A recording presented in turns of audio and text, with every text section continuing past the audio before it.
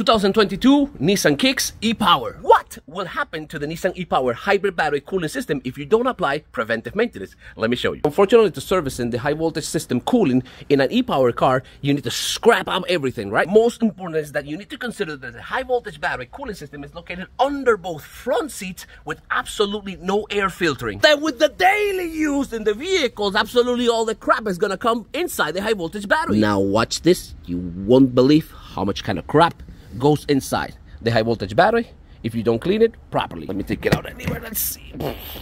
There it is. Oh, look. This is the high voltage battery inlet. That's it. All this kind of crap goes directly into the cells. Coming to the other side, look. The same amount of crap that comes in both sides. Let me take this out. There it is. Holy cow. Yeah, pretty bad, eh? Look at all the amount of crap right there. At least every once a year or a couple years, as long as you keep it clean, you should service the high voltage battery cooling system in any Nissan e-Power. And besides this, we also have the cooling system for the DC to DC converter. I'm gonna have to scrap all this to take out the high voltage battery fan. Sparky, Sparky, Sparky, clips, paper.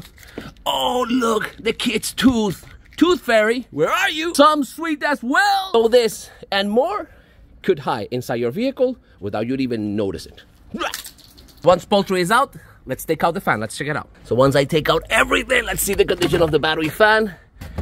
There it is. First want to see, where is the air coming out? Look, right here. So where you know all this crap coming from?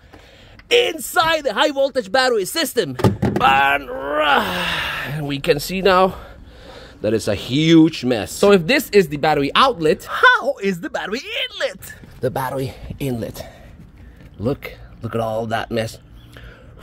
Wow, ah, ridiculous amount of mess, right? This is the battery inlet. So this is the battery inlet from the other side. Look, a real mess. Clean and impeccable as it is. Look at it, impeccable, as good as new.